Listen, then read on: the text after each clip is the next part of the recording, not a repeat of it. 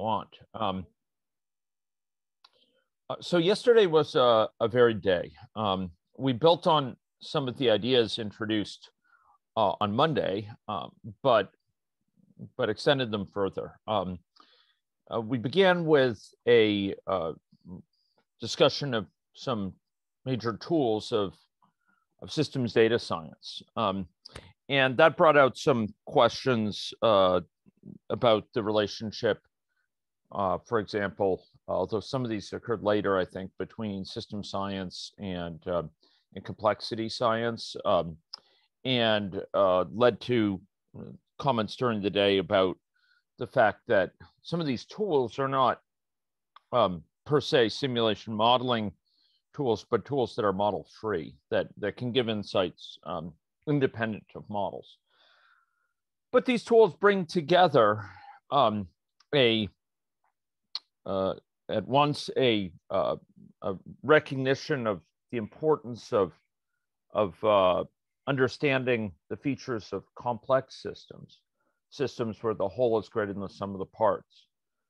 Uh, the fact that within those systems, we poke them and often there's surprising effects. Uh, even the most educated people, it's been shown in controlled experiments, um, are very poor at manipulating even descriptively simple complex systems. Um, uh, we even even the best of technical education uh, provides very very little guidance to help us manage the unexpected effects of these systems. But but within these systems, um, we also see um, a response to interventions that often is vexing. Um, if we take a complex system, be it a, a, a service delivery network, uh, be it a, um, a system involving um, mental health, um, uh, mental health uh, uh, burden within a population and, and care seeking, et cetera, um, or a system involving the spread of communicable diseases. These are systems where if we don't understand the mechanisms of action. We don't understand why we're seeing the, the patterns that emerge from them. Um, we're almost bound to to be disappointed when we try to intervene in these systems. Um, will it, uh, at the least, will typically achieve less than we had hoped um, because the system pushes back in some regards, or the bottleneck just shifts from one area to another. Um, or will be fooled um, into thinking that um, that by intervening in one place uh, will have uh, dealt with the root cause, and in fact, there's many other contributing pathways that ensure the system stays just as um, uh, just as uh, troubling in its patterns. Um, uh, moreover, uh, the system will sometimes uh, dilute the effects of our changes or will intervene and we won't see the effects for some period of time and, and will prematurely declare the intervention a failure before it's had any sort of real chance um, to, to secure effect.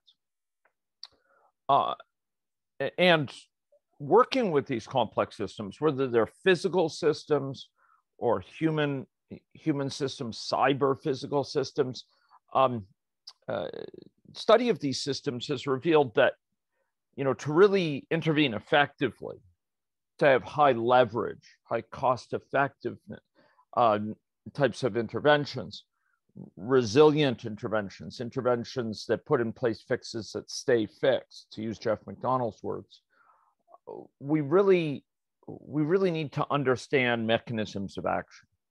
Pawson and Tilley and their theory of critical realism uh, speak about the importance of mechanism, um, context uh, as as key considerations um, uh, in in governing outcomes, and and if you go in and you have a, a policy prescription that isn't properly contextualized, you'll often be disappointed as well. And and Pawson and Tilley talk about the need to understand the, the causal underpinnings, the generative pathways, the causal pathways um, by which um, these systems work, so that we can judiciously target them.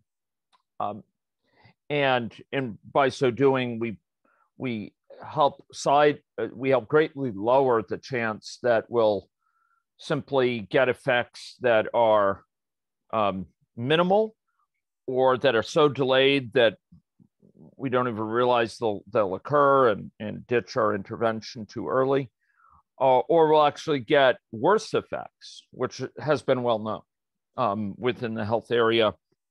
For example, in the introduction of low tar cigarettes, uh, leading to people, you know, ending up avoiding quitting because they think by switching to low tar cigarettes they'll um, they'll be able to spare themselves from harm. Um, or cases where we invest in low nicotine cigarettes only to find people engage in more compensatory smoking, smoke more to get the same nicotine buzz. Um, the, the history of, of health interventions is riddled with dozens of cases.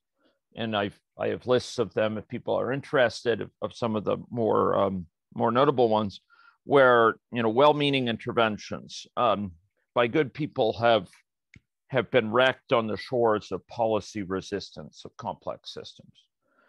Um, and the antidote to that, it seems, is understanding um, the mechanisms by which they, they give rise. But when it comes to systems data science, there's other features of these systems um, that also bear note. And um, these features are at once vexing, but also provide the seeds for insight and for opportunity. Uh, when we have these complex systems, they are promiscuous. We intervene in one place, say in the uh, physician's office, um, uh, prescribing pains, uh, uh, uh, medications, pharmaceuticals for chronic pain, opioids. Um, and what goes on in that office will ripple through to other areas of the system. It will come out in emergency rooms. It will come out in EMS call calls. It will come out in in um, in, in police visits um, uh, due to overdoses. It will come out in demand for naloxone in um, uh, in harm reduction programs. It will come out in supervised injection sites. They're promiscuous systems. What goes on in one place pops out in other places. And this is one of the features that makes them makes intervention successful intervention that's that's not motivated by understanding really difficult um, because we intervene in one place and we get the system wide effects and sometimes we just shift the bottleneck somewhere else but this permis- this very promiscuity provides this this this beachhead for real insight. Um, because fr- from a data perspective when we when we're seeking insight on what's going on in these complex systems, um, we could be excused for thinking that, like any simple system, if we measure things, if, if we need to know about a broad system, we have to measure things all throughout the system to know what's going on all throughout the system. But with complex systems, there's something more going on. They're so promiscuous that what goes on in one place um, is very coupled to what goes on elsewhere. And so so actually getting information about what's going on in one place whispers to you about what's going on elsewhere. If you know, if you have the right tools for listening, it tells you what's going on elsewhere in the system. Uh, and if we if we take those tools and we tease apart um, what we're hearing from these systems, we have ways of recognizing um, aspects of what's going on in disparate areas of the system, any areas that influence this one. And that's a powerful insight. It's rooted in mathematics. It's rooted in the mathematics of Takens' theorem, um, named after the Flemish uh, or Dutch, uh, I believe he's Flemish, um, mathematician Floris Takens, um, but who showed that for a, a, a, broad class of these coupled nonlinear systems, um, uh, that that if you just listen in the right way to one type of data, it'll be telling you about aspects of the state of the system that extend across all other areas of the system influencing this one. And that's powerful. um, because it tells us that one type of data consistently measured um, can tell us an awful lot more than we think. Um, it's not a silver bullet, but it gives the route for insights. And some of the techniques that that we've already glimpsed, like these hurricane plots, these model free plots for plotting out what's going on, can often give us insight precisely because of that. And today, um, we'll be expanding on some of those insights with additional methods. So, so yesterday we talked about these tools of complex systems, and some of those tools are tools for working with simulation models, um, but informing them with grounding on data coming out of the system uh, in ways that really benefits from this promiscuity, ways that really benefits from, from this regrounding of these systems from the fact that you know a little data from that system can go a long way. Um, but others of these are techniques for for listening in the right way to these systems um, and for for giving insight uh, in other fashions. Um, so those are the tools of system science. And we don't have time during a four day period to cover all of them by any means but we can we can give you some components of some of them give examples of some of them, and set you up to, to learn more. We then went on to talk about one of the most elemental, most ubiquitous, um, or, or, widespread, at least, of these tools. Um, a foundational tool in operational use of models, which is calibration. And I noted that, in contrast, um, you know, there's there's a uh, this this notion that um, uh, you know, to this old chestnut, you know, garbage in, garbage out for models. That a model is only as good as as its data. Um, and I objected to that, and I objected to it in two ways. Um, uh, yesterday, um, specifically, I I firstly said that um, models are a lot more uh, are are about a lot more than data. What makes a model valuable is more than the data that goes into it. Models capture structure, they capture the, the orderliness of systems in the world, they capture kind of the, um, the degenerative pathways of these systems, the connectivity patterns of these systems, whether it's matters of you know uh, who is needed to refer someone to different service uh, services, um, the handoff policies for those services and the workflow, or whether it's matters of the natural history of infection of a, of a pathogen uh, in response to infection by pathogen, um, or whether it's issues having to do with uh, the, the factors by which uh, physiology responds to chronic diseases that lead to complications of various sorts unfolding. Um, models capture structure. And in my view, that that structure is is of considerably greater import. I'm, I'm going to revise my statement there to be stronger yet. Far greater import than the particulars of the data that go into them. That's not to say data doesn't matter, it's not important. It is important. It's it's it's important to be careful about our assumptions going into these models.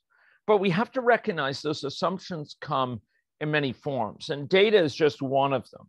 Um, you know, the, these data we put in these assumptions. There's other forms um, that assumptions get captured in the structure, and those other forms often have a more fun, fundamental bearing on the dynamics that we see from these systems.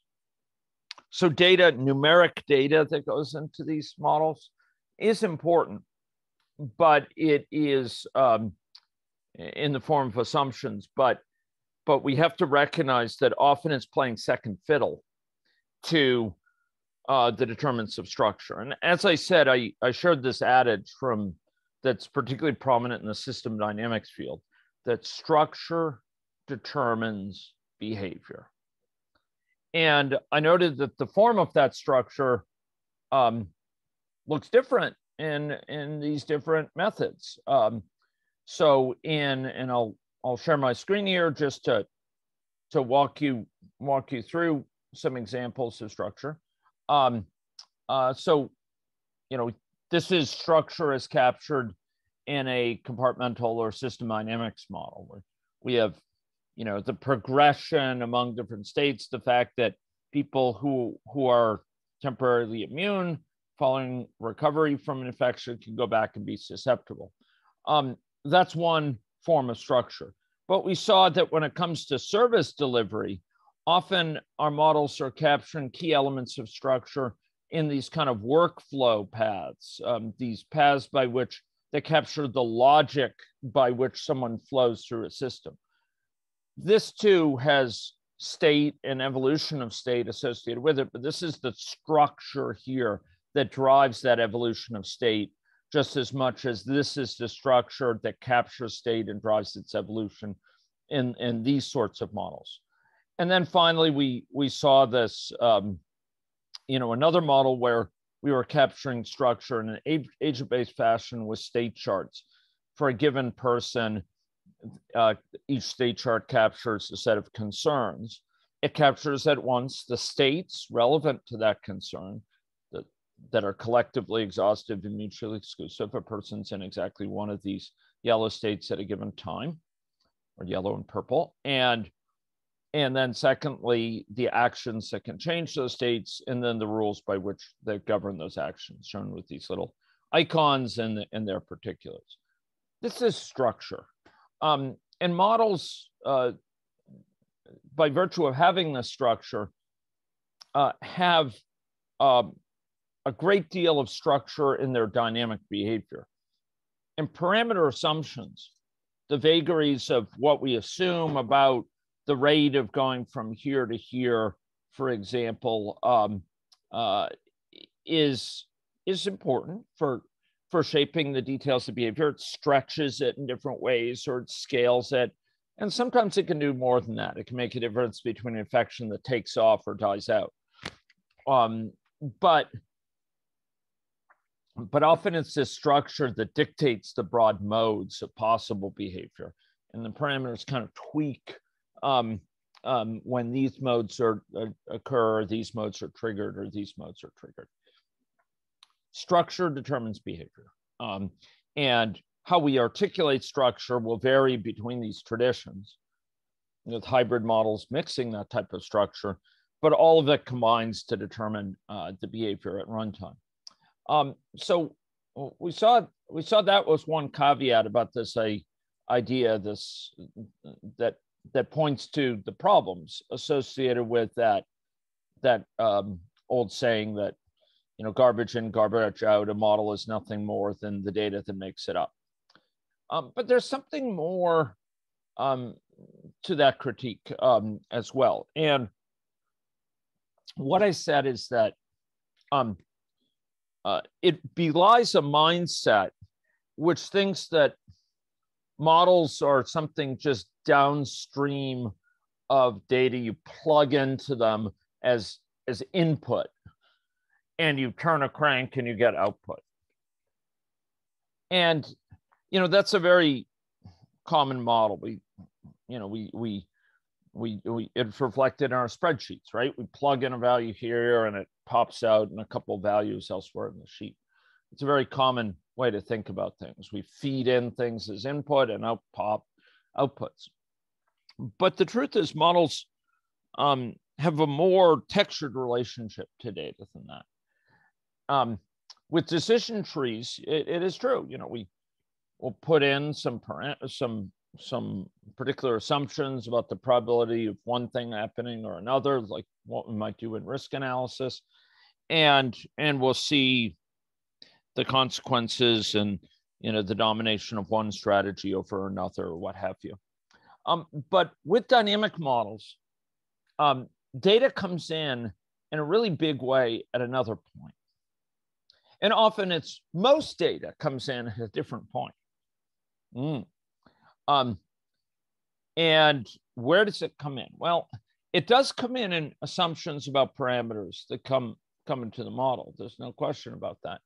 But it comes in as well in this form of calibration. Well, it's not in the form of calibration, in Uh, calibration is one example of it. It comes in in terms of helping to cross check, correct, um, uh, or or challenge model outcomes when we because we can compare them with data. So um, models of the sort that we're working with here have unexpected behavior.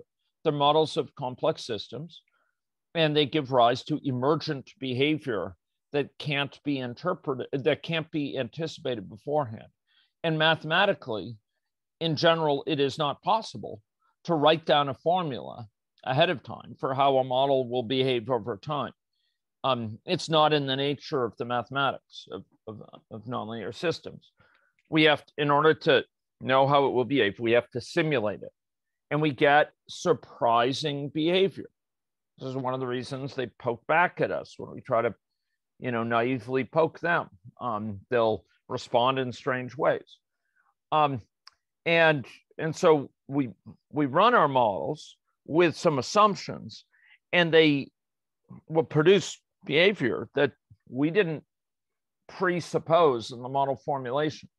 You remember may remember those patterns from the first day that we saw the the oscillations that we saw coming out of a model you know of infectious diseases or the picture of, of where prions are concentrated alongside the lakeshore et cetera um, uh, that came out of an agent-based model or maybe we'll see bottlenecks within a service delivery system that lead to long wait times um, or lead, lead to people giving up and, and not being seen and not having their care needs delivered. These are all examples of, of um, emergent thing, emergent properties that come out of these models. And in order to find those, we have to run the model. But that provides an opportunity for further bringing data together with models because those emergent patterns can be compared against data, can be challenged by data. In other words, can be scrutinized as to whether they hold up against empirical data from the world. Empirical data that's very different from the data we plug into models at the beginning for parameter assumptions. When we plug data in for parameter assumptions, this data that you know we've tried to boil down to to use it to, to understand one particular parameter. And sometimes there's a process of backing out to arrive at those parameter estimates, et cetera. But it's it's data that goes into those particular assumptions. Um, and it's very particular data. Whereas the data to which we compare the model's behavior is often um, uh, kind of more observational uh, ecological data on different aspects of systems behavior. It's often much more plentiful. You know, we may have data on the waiting time for this service or data on, you know, the number of, of people being served by that one. Um, we may have data on the number of people being diagnosed with this condition that's data. It's not about any one parameter. It's affected by a whole swack of different parameters. It's affected by a whole swack of different aspects of the system. But that's what the model captures is the whole swack of different influences. And so we can compare what the model shows for expectations about that against things in the world and adjust our assumptions in the model accordingly. And many of the methods we're looking at approximate Bayesian computation, calibration, particle filtering today, particle MCMC tomorrow, et cetera. There are different ways of making use of that data from the world, of making use of this emergent data, this data that's unfolding as we observe the world, and use it to inform the model. So for calibration yesterday, what we did was to um, to take observations like that from the world and use them to to tune certain parameters that can't be readily can't be where, where we don't have good evidence um, to pin them down where we we feel that you know we lack confidence that we've got really good parameter values. Um, and so in order to inform our best guesses for those parameter values. we adjust our assumptions about those so the model behavior best matches the observed data from the world. You may remember that in that example yesterday we ran through where we um, we had this calibration going on against um, against empirical data. The empirical data was was shown in yellow, and we were calibrating model parameters in this SIR agent-based calibration example so that the model best matched the observed data. Um, there, that data being generated from the worlds um, was something which um, which was the result of many areas of the system interacting.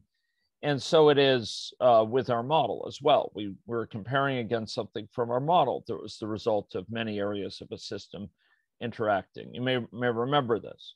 Um, and by running this, this is the historic data which we're trying to match, we're trying to match.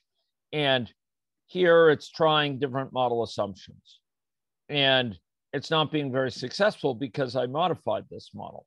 Um, uh, we, we were having the wrong structure and we found, you know, the fact that we couldn't match this data told us something is wrong with our structural assumptions.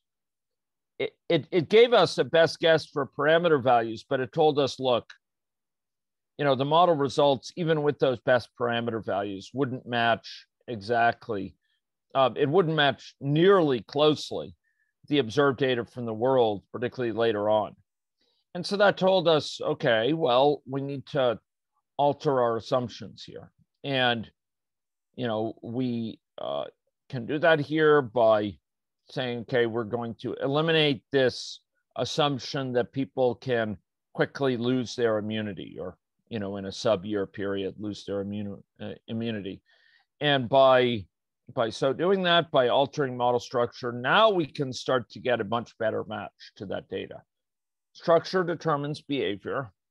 Um, but within that structure, we can find parameters that are better and better. Even here with the correct structure, at first, we were casting around for, for matches, but uh, that's the red ones. And but over time, we could get better and better at the degree to which we could match this, this data. So in both cases, both the observed data from the world, the yellow, and uh, the data from the model, the red, the, the red is the best of them thus far. Um, we we're dealing with with data that's generated from across the system or from broad areas of the system, from regions of the system. It's not just from one parameter. And we're adjusting here two parameters um, to find the combination that best matches that data. That was the idea with calibration. And calibration is a very widely undertaken task, so much so I'm, I'm on the borderline of saying whether it's ubiquitous. It comes up in a large, large fraction of modeling projects. And it makes, and it's for good reason, it makes use of the large body of data that's typically available about system behavior. It's not about any one parameter, but it can cross check our model results um, uh, uh, in, the, in as much as they have implications in many areas of the system. Um, so that was the idea with calibration. And yesterday we we took up it, we took up that idea and we saw that it's it's a powerful one. Um, but we took it further with a later lecture on approximate Bayesian computation. And approximate Bayesian computation took this basically good idea of calibration and generalized it. Calibration gave us a single best estimate for those parameters. Separately, it also, you know, even more importantly, arguably, it alerted us when the model structure just doesn't cut it. But you know, if if we are satisfied with that model structure, it'll give us the best estimate for those parameters. Um, but it gave a single best estimate. It privileged one estimate. And often the situation in the world was not such that you know a single value for these is is terribly privileged above the others. Um, sometimes we have multiple values that vie for plausibility. We may have a whole range of values, a whole sort of line of values, a curve of possible values, which which are all looking equally good. I said in calibration, it was trying to find the best estimate by taking a discrepancy between what the model produced and what was produced by the world and minimizing that discrepancy. Um, finding the minimum discrepancy parameter assumptions. And I analogize that to kind of coming down from a hill or a mountain where we have a high discrepancy and finding a lower one. We're kind of finding our way down these paths into this this lower region where we have low discrepancy. And that's what we're doing in the optimization algorithm. We're kind of wandering down, trying to find the best way down to get to a, a small discrepancy where the model results has high fidelity to the to the observed data from the world. But you know, sometimes we find that when we come down that mountain, there's a whole valley of possibilities that look pretty good. And sometimes those different possibilities will have rather different policy implications, or they'll have rather different implications for what we expect going forward. And well, calibration was a good start and a extremely valuable task, you know, extremely valuable process for learning because models are learning processes. You know, it would be nice to have a method that would let us let us consider more than one possibility. That wouldn't privilege one interpretation. And we got that wish fulfilled at a most basic level through approximate Bayesian computation. It's a very similar idea. In fact, there's the same discrepancy function that played a role in over here in um, in calibration, trying to minimize it, that also played a role in approximate Bayesian computation. But there, we would accept any any value combination of parameters which had a discrepancy below a certain a certain threshold.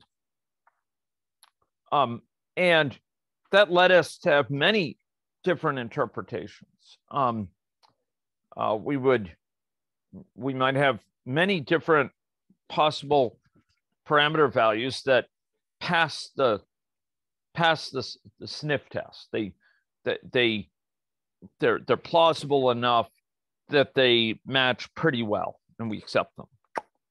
And having some doing so, having so done, um, we can take those estimates, take those parameter values that pass the sniff test, that give rise to model behavior. It's a pretty good match to observe data from the world.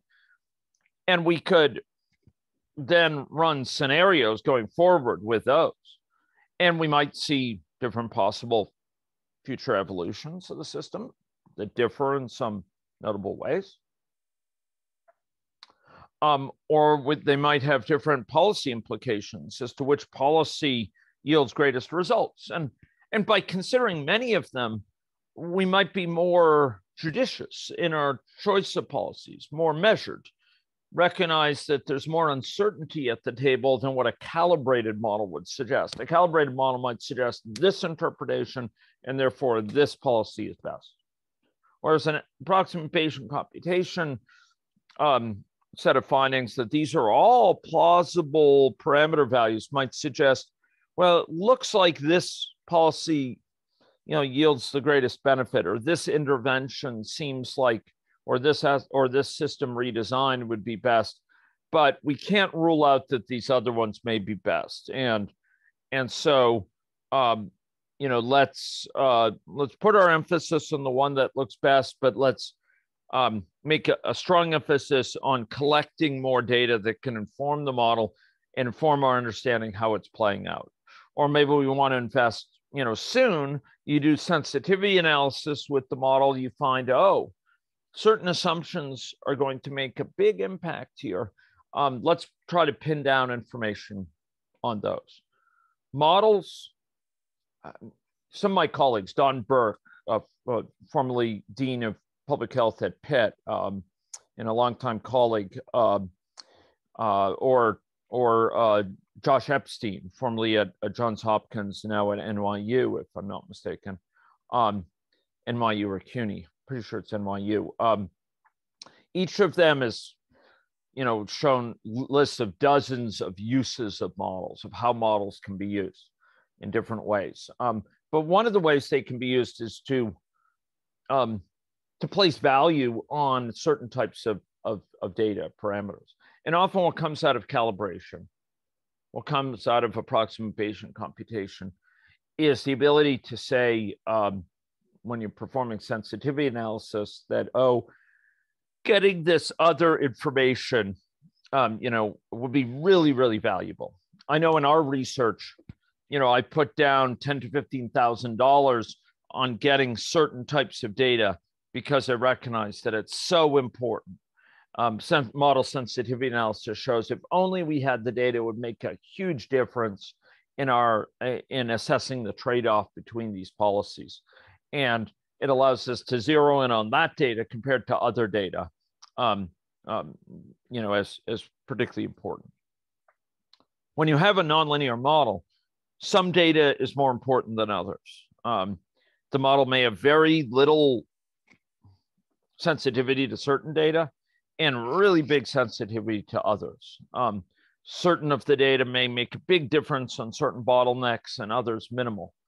And uh, it's useful to have a model to prioritize data gathering um, to, to focus limited energy on a smaller set of parameters.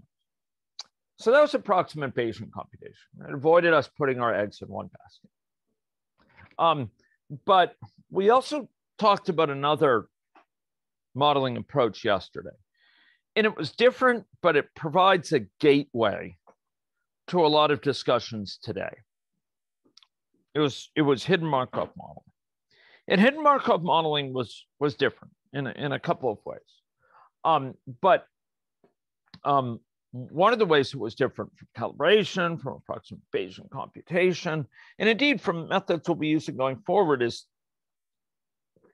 um, that it focused on a situation where we have an underlying an underlying um, posit an underlying reality where the system is not in continuous states where we have more people who are susceptible or fewer more people are exposed or fewer but instead where we have discrete states, um, say categorically distinguished states, where we're either in a foodborne illness outbreak state for a municipality or not, or where we want to recognize whether a given party's posting on social media are likely to have major depressive disorder or or you know uh, less less severe depression or, or or to be unafflicted by by depression set of discrete nominal possibilities. Um, and what, what hidden Markov model tried to do, though, was emblematic of these methods we'll be seeing, particularly today and tomorrow. What, what it tried to do is to have a description of that system, that underlying system, um, that is not taken, is not lent all the faith, all of our faith. Um, and where we have data um, that will uh, will check our interpretation of that system. In fact, the the ways in which hidden Markov models um, uh, couch this characterization was probabilistic translate transitions between states there wasn't even a deterministic aspect of it. It was probabilistic, whether we go from an outbreak state to a non-outbreak state. We say we're not sure. We're not sure how long it will take, but on average, maybe 30% chance per week that a, a given outbreak, foodborne illness outbreak will end. So we have this probabilistic formulation of how a system evolves. This is going to be key going forward with stochastic models, agent-based models, discrete event simulation models, stochastic adaptations of, of compartmental models. So we have this, this, this probabilistic formulation of how a system evolves. Um, and, and then we have data coming in over time. And the data is fallible. The data is ambiguous. The data is uncertain. The data has errors in its measurements. But between the data and the model expectations about the model dynamics, we, we develop a sort of consensus estimate of what's going on in that underlying situation at any one point. Um, we take the data observations and we take the observations from uh, from from what we would expect, or we take what we would expect from the model evolution, and we combine them at any one point to give us a picture of what's likely going on right now. And and that's really really valuable. It's valuable because it starts to clue us in to um, uh, the evolution of a system where um, where data um, is constantly regrounding our understanding, but where we have some sense of its regularities as captured by a model, but where that model isn't, as I say, it's not privileged. It's not uh, something which is um, guaranteed to be correct. And these sort of hidden Markov models offer um, a great little uh, example of the sorts of reasoning we're going to be drawing on a lot today. Um, each state, and for a hidden Markov model, uh, was assigned by the forward backwards algorithm, um, or just the forwards algorithms for using only data going going backwards, um, you know, only data till this point.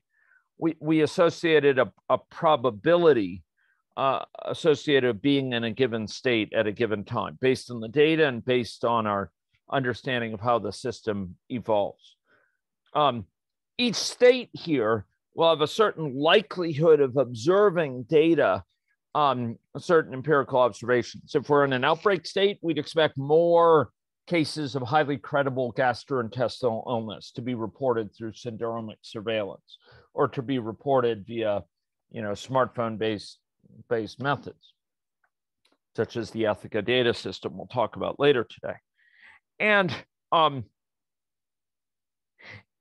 and so um, we have this expectation of what we would expect to see from a given state.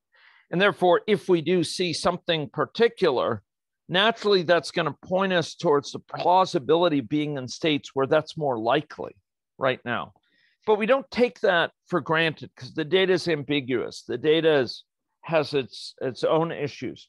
And so we combine that with an estimate of how we think the system, uh, how the system we believe is evolving over time.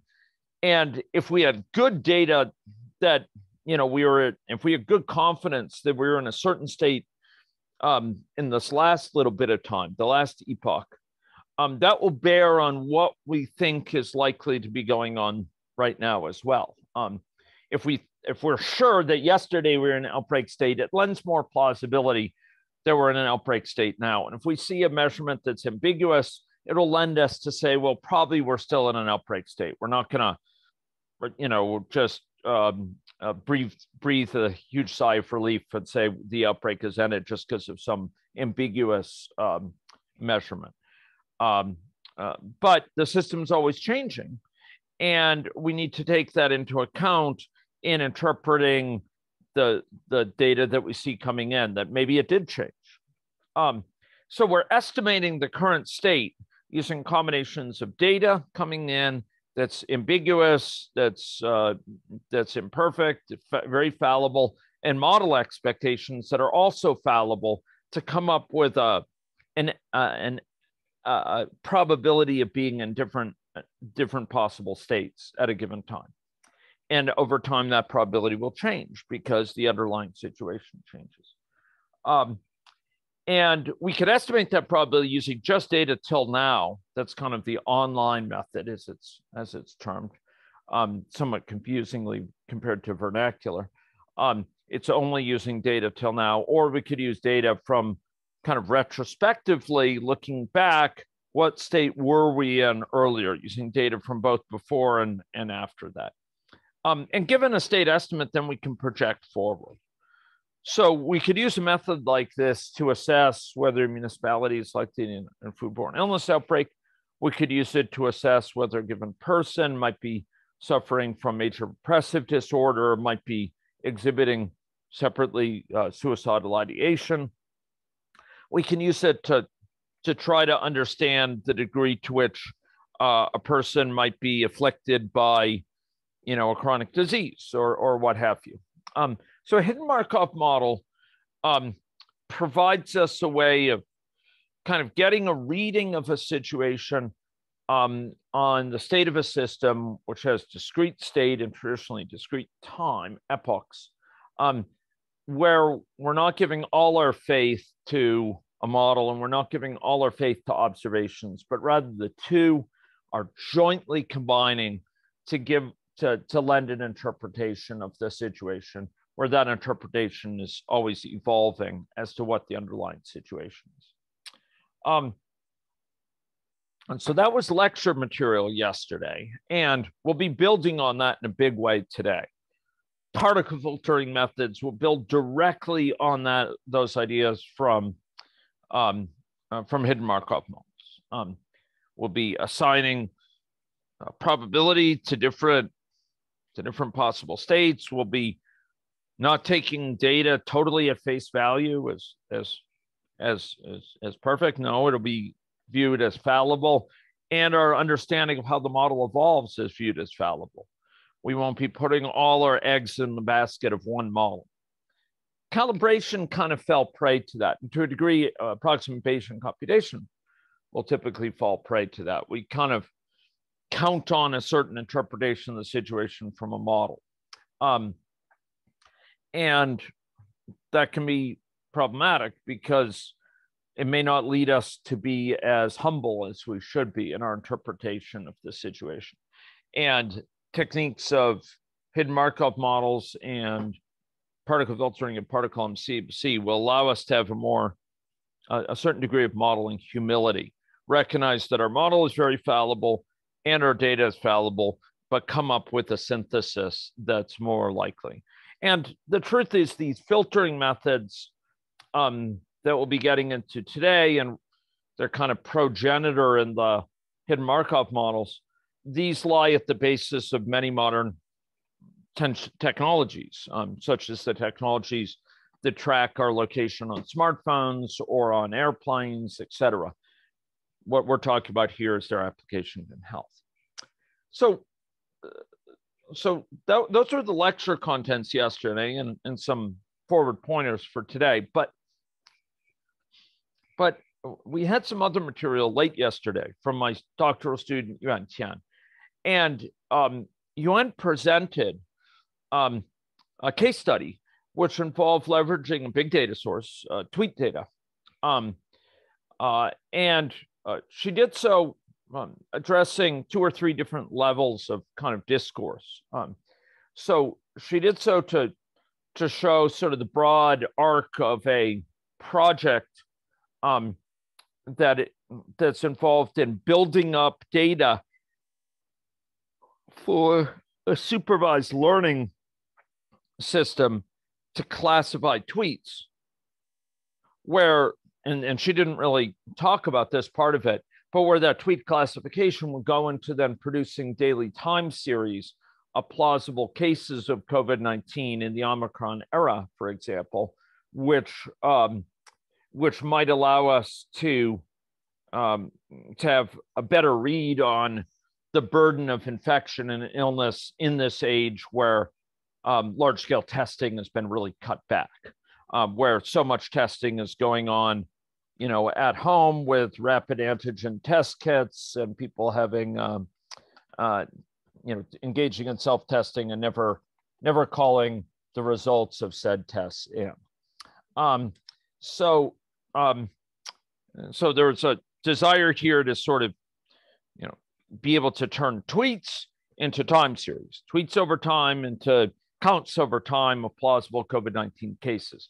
And um, in, in her program of work um, that, that she supervised there involved um, taking tweets, cleaning them, curating them, classifying, uh, excuse me, manually classifying them using a kind of method inspired by systematic reviews where each tweet is reviewed independently by several several different trained parties um, who are who are all trained at a certain level and um, where uh, conflicts are resolved in a certain way um, adjudicated. Um, and and then having built up this set of tweets that are labeled as to whether or not they are plausibly a case of COVID-19 in the in the near in the in the recent past, plausibly within this province and, and a set of particular criteria. Um, with that labeled set of tweets, sets of tweets where we, we see the tweet and we have a label whether or not it was deemed a plausible case of COVID 19 in this kind of systematic review sort of fashion. We then, so her team then used machine learning algorithms to classify, um, to, to, excuse me, to, to train those machine learning algorithms using those labeled tweets, those ground truth tweets, those tweets where they're manually labeled.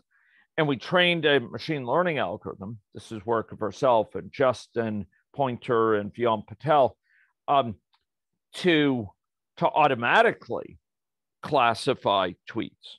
So using using the labeled data, it came up with general rules. Um, uh, this machine learning algorithm to recognize when a tweet is very likely a case versus not a case. And this involved things like word embedding. So, in other words, recognizing uh, the patterns of words in a given tweet as emblematic of, of what we see in tweets that are um, of plausible cases. Um, and the machine learning algorithm that they came up with, she examined a variety of them. One of them she featured in her talk was the support vector machine, um, uh, and and identified um, strategies that would allow for quite high accuracy classification of these tweets. Um, so doing that mm-hmm. with a machine learning algorithm, you could then use it to take, you know, thousands of tweets a day, classify them, and come up with a count. Actually, it would be not tens, it would be many more tweets per day, but are possible. But you could then classify them and um, and come up with a count each day that are plausible COVID 19 cases.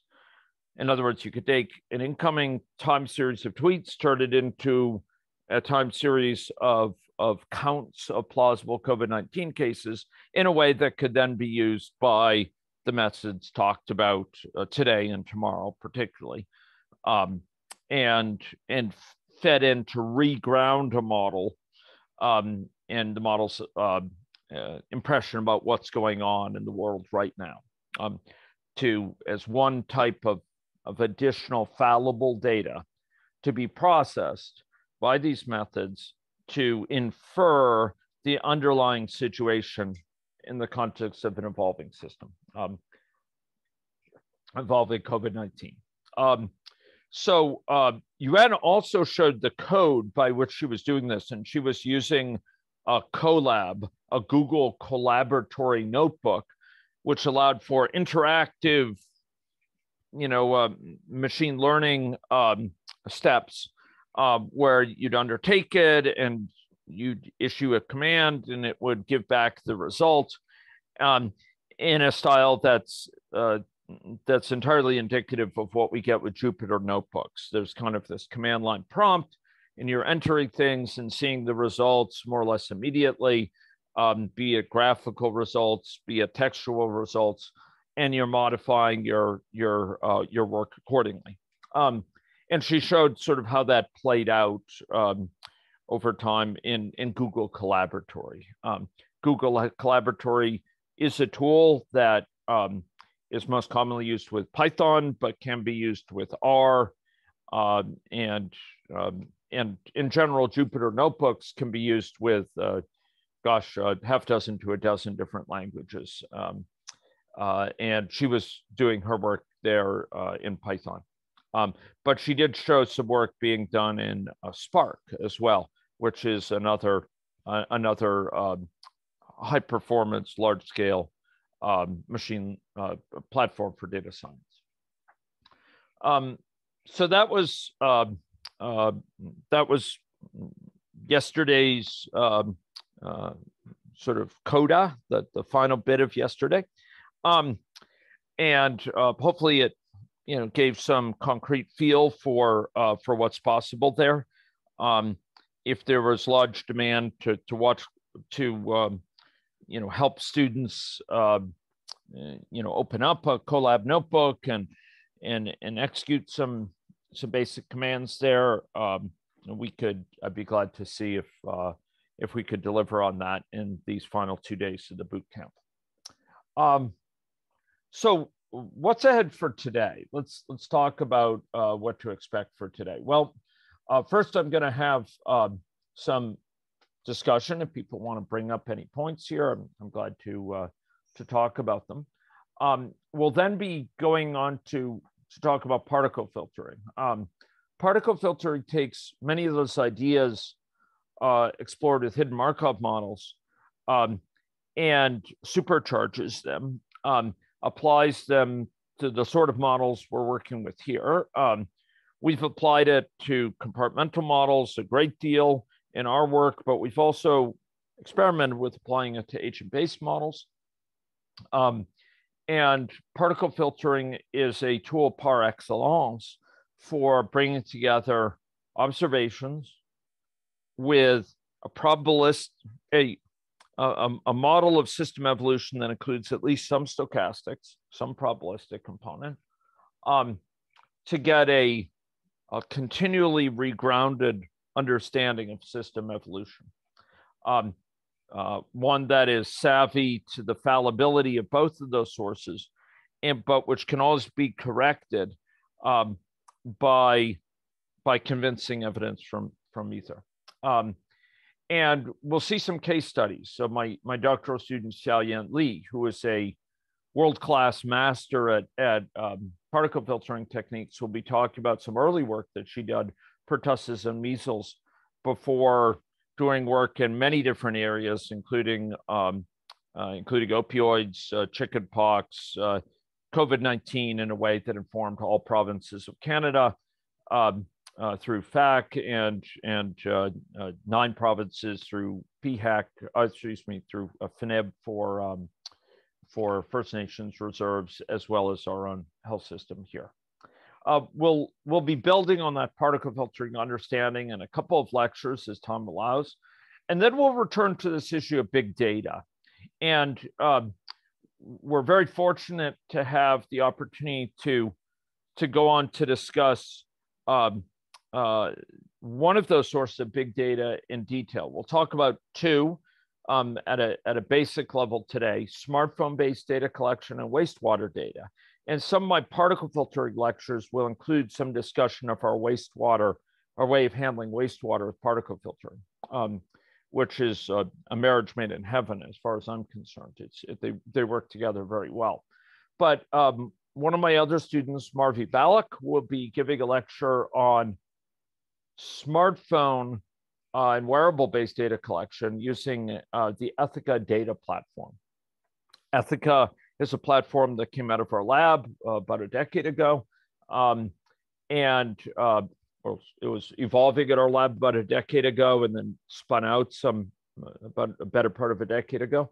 And um, is uh, a, a, a, platform for building health studies leveraging smartphone data, um, uh, which, um, which can be customized to a given area in terms of collection of certain data sources. Um, survey data is ubiquitous, but um, it can also capture data on step counts, for example, or uh, GPS data on people's mobility patterns, or data on contact patterns between people, um, uh, or, or, you know contacts between two persons or between a person and a service dog, etc.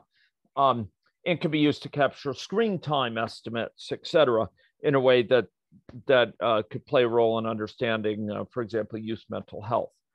Um, this is a platform that's been used in hundreds of studies worldwide, and which, uh, in many studies, informs modeling. Um, so uh, Marvi will be uh, will be offering a session uh, which gives gives people an understanding of um, how to use that system, um, both in, a, in its sort of ways of setting it up, of monitoring studies as they take place, of configuring them and, and rolling out content dynamically over time, um, uh, changing them, uh, and, uh, and, and using it to, to collect data, which can then be analyzed. Uh, big data of the sort that that's the focus of so much of, of, of this boot camp so anyway, that's um, that's the plan for today right now. But I want to hear if there are questions for people or, or things they'd like to discuss before, um, you know, or questions they'd like to ask about um, before we dive into some of the lecture contents. Have, have any of my students used MATLAB? Yeah, MATLAB is um, MATLAB is one of the oldest tools that our lab has used. These days, we don't um, tend to do that much in it because there's there are many open source platforms available that offer um, the comparable uh, uh, types of functionality, uh, but with less encumbrances in terms of proprietary um, proprietary algorithms and so on.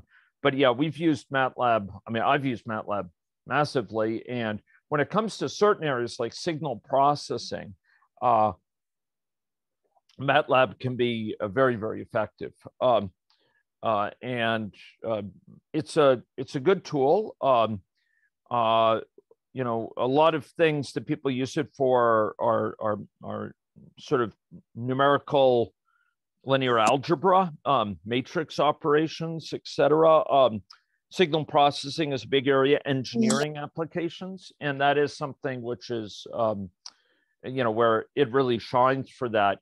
But you know, the truth is, uh, for a lot of image processing that used to be done in MATLAB, you know, we might do now in, in something like uh, TensorFlow uh, for deep learning, um, or a lot of numerical linear algebra can also be done in, in R, for example. So MATLAB um, uh, is is excellent for certain purposes, um, but it's no longer as prominent in our toolbox day to day as it was 10 or 15 years ago. Um, hope those are, are helpful comments. And, and I think you could say this is true for a lot of those outside of, um, of core engineering areas, um, sort of engineering of physical systems. Um, um, how much delay is there with tweet data? Take into account the adjudication process. Well, the delay, uh, so good question from Maya. Um, uh, so, uh, so I want to draw a distinction when it comes to tweet data. Um, the adjudication and so on is done for training, is done in preparation of building a supervised learning data set that's then used to build uh, a machine learning model. So, in other words, um, that whole process with the, I shouldn't say that whole process, the process with, the, well, no, it's fair to say that whole process yesterday. Um, uh, grabbing tweets, cleaning them, scrubbing them, curating them, um, having people judge them, manually classify them um, uh, with multiple people per tweet, adjudicating differences, training a machine learning algorithm. That has to be done once, um, was the idea. Um, and having so done, having having built up that trained machine learning algorithm, then that could be deployed every single day to classify tweets with virtually no delay. Um, so that you get tweets in throughout a day, you're classifying them throughout a day, and every day by the end of the day, you know, within minutes of the day's end, you've got a count of tweets for the day that are plausible cases of COVID 19. Um, in fact, you can do it all through the day. Um, and so once a machine learning algorithm is trained and tested and found, you know, worthy, um, the idea is then you just you use it on an ongoing basis and it's more or less immediate you know its ability to suck in new tweets and produce counts. Um, so you get tweets for today and you're producing a count for today of plausible covid-19 cases. Done. Um, that whole adjudication process is a process of building up of getting to a machine learning algorithm that's worthy. And as was noted yesterday, uh, these days, often when it comes to modeling um, of infectious disease, notably like in COVID 19 or machine learning, uh, ensemble algorithms are of great interest. These take multiple me- methods, different models, different methods um, for machine learning, and and uh, do the classification with multiple methods and then maybe have a, have a voting protocol, for example, or some sort of protocol that will look at the degree of reliability or confidence of each method and choose the one that looks most favorable or combine the estimates into a single estimate, fuse the estimates. Um, but all that can be done more or less immediately because you have trained models beforehand um, that, that you have to train as a result of this laborious process. So that laborious process is all prior to coming up with a, a re- reliable model. And then you can use the model on an ongoing basis, you know, for for months and months and months with virtually no delay. I hope that that's uh, that's um, clear. How long does it take to train? Um, well, um, you might actually showed a little bit uh, of that yesterday, but you know, to to go and uh, all through the process of training. As she noted, the hard parts of that project are really um, scrubbing, cleaning, curating the data, coming up with the adjudication process, going through and adjudicating the tweets. You know, those took weeks.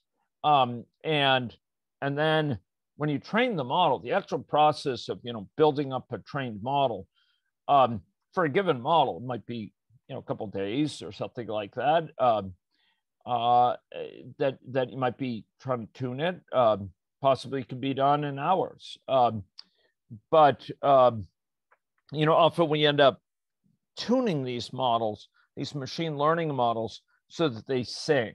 They they have their best performance. Um, and uh, you know that may take longer. For example, a support vector machine um, would uh, would potentially you'd want to to, adjust some of its hyperparameters, some of its overall parameters so that it um, um, it can perform better classification.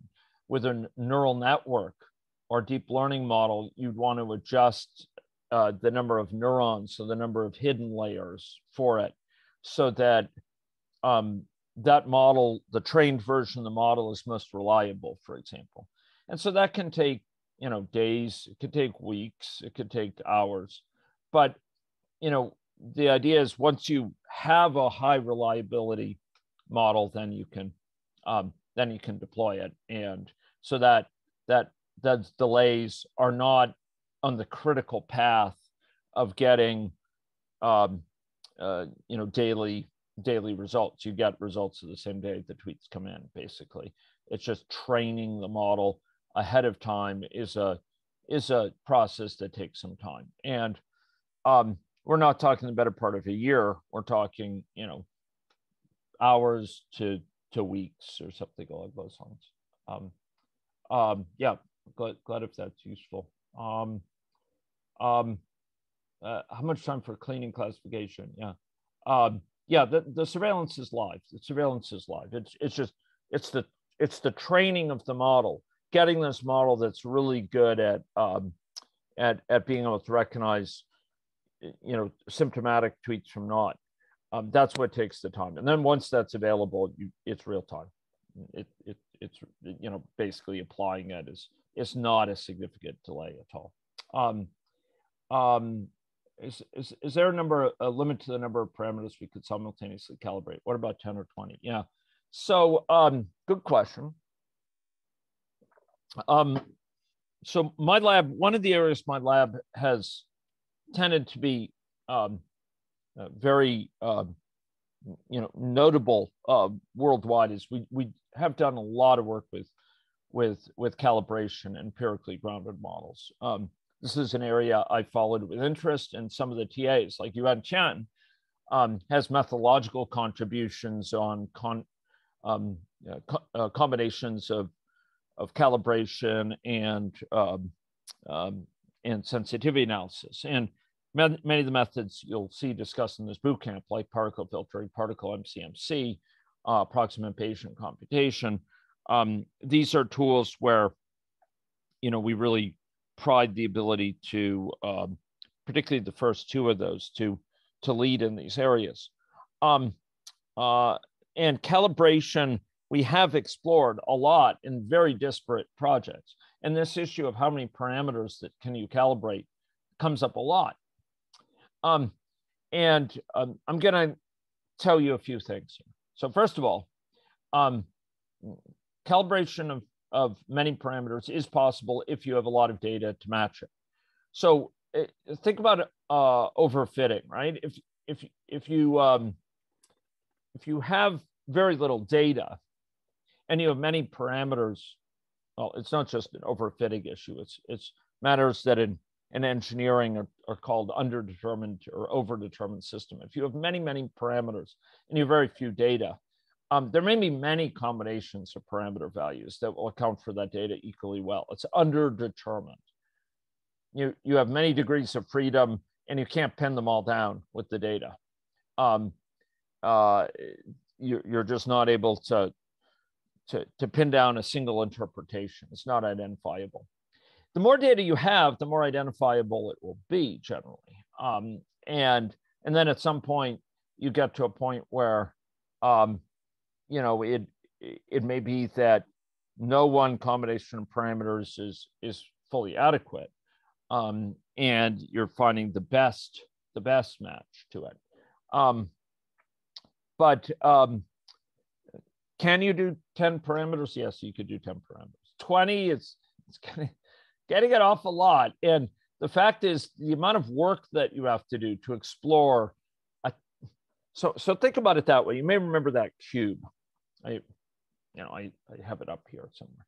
Um, uh, hopefully I could show you that gelatinous cube. So um, uh, here, um, yeah. So if I were to um, uh, to, to remind you with the cube, uh, if we have, and I'll put this up on a slideshow. Um, here we go, and boom. Um, so here's our here's our cube.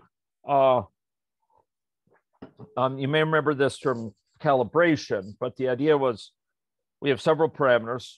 We've called them for brevity beta, mu, and, and tau, and we'll see they, they come from a particular model here. But um, um, these would be different parameters. Uh, this might be the length of time it takes to recover, mean recovery time in months, excuse me, that's mu here. Uh, um, mean incubation period in months is, is tau, et cetera.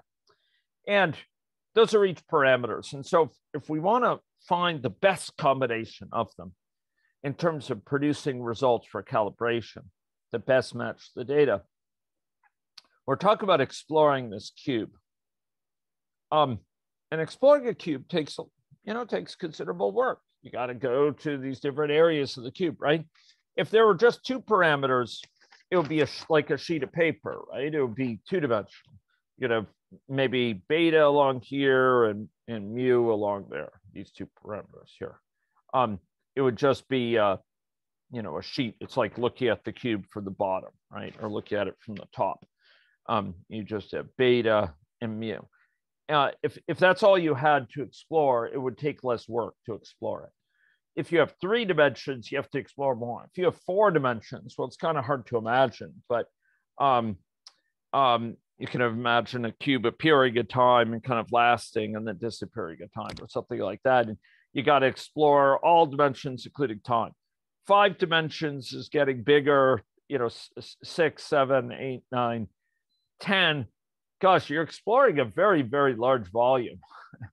and and your ability to really in a timely fashion explore that value gets gets limited. Um, so it's not merely a matter of how much data do you have, it's how much do you can you really explore this volume. And once you get to 20, I'm I'm not very sanguine about that. I, I, I, really think you might be fooling yourself. You're you'll be in one particular sub area of this tw- giant 20 dimensional space, and uh, you know I I just lack lack confidence. You're you're really going to be meaningfully exploring that space. It's the curse of dimensionality is just going to be too large, and even 10 dimensions is really pushing it. Um, so so what to do? Well. Um, uh, one thing you can do is to successively calibrate parameters. And what this means is um, a colleague of mine used to, I think, drawing on an analogy by um, John Sterman at MIT, um, has analogized it to kind of unpeeling an onion. So you start with the inner part of the onion and and you're calibrating that part of the model. Um, and then you sort of let layer in the next thing and you calibrate some additional parameters for that, but you don't recalibrate the inner ones. And then you layer on some some others. So you're taking advantage of the fact that there's kind of core parts of the system and, and broader parts. And that could be an effective way, strategy. There's also a technique known as um, that has a certain conceptual similarity to that partial model calibration, where you kind of calibrated part of a model treating certain things as fixed and, and treating data from the rest of the system as data. And then you sort of enlarge from that. And and it's actually a very elegant process. And there's literature uh, uh, to, to, to support that. And we've used similar processes before in some of our published work. So in short, you break up the calibration problem into sub problems with calibration. And it's not perfect, but it's probably better than trying to calibrate 10 parameters at once or 20 parameters at once. I have seen 10 done successfully. I will say that, or at least it, it got good results. I've seen that in a number of times, but uh, you know, I, I start to feel a little bit queasy um, when I see that because I, I just have my doubts about the degree to which it'll be really well explored glad if that's uh, if that's useful. Um, there are other, you know, other possibilities here too um, that I I won't talk about, um, but um, uh, you know, those are those are some thoughts on the calibration front. Okay, um, uh, glad if that's useful. So um, I think we'll stop for a break now, and we'll uh, resume in six six minutes and at 10 o'clock and and we'll we'll dive into some material. So uh, thanks very much and see you shortly